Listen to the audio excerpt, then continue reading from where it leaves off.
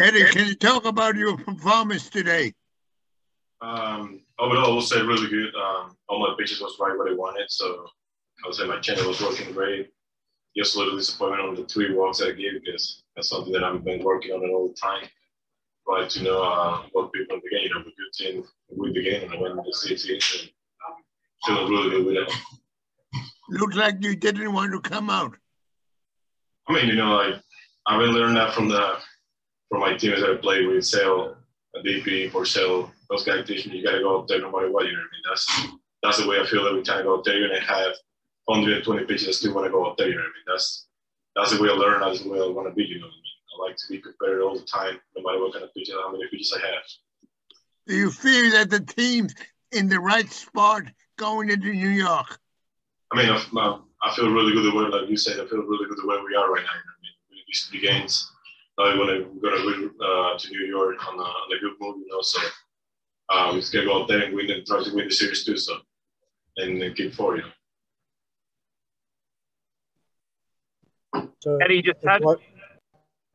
Eduardo, what, what did you kind of say to Alex, and then what did he say back to you?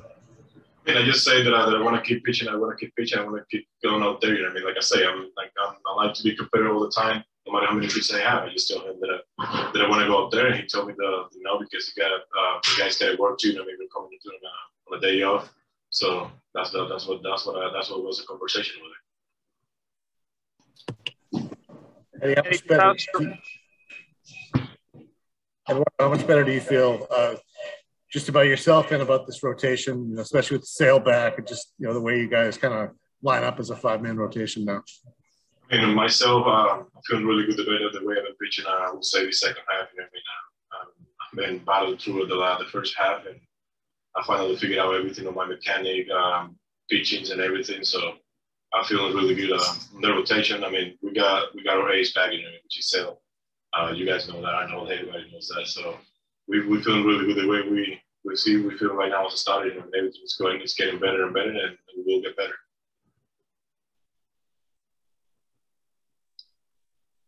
Anything else?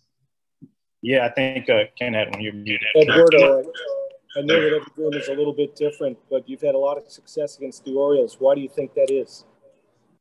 I mean, I don't, I don't feel like uh, you put me to name a team. I don't feel like that. I mean, I uh, I don't care who I'm facing. I just go out there and try to do my job. I, mean? uh, I give the numbers and all that to somebody else. For me, I just think you know go out there and pitch. No matter who I face, the Yankees, Seattle, Baltimore, whatever who I face, I just want to go out there and do my job. You know. Yeah.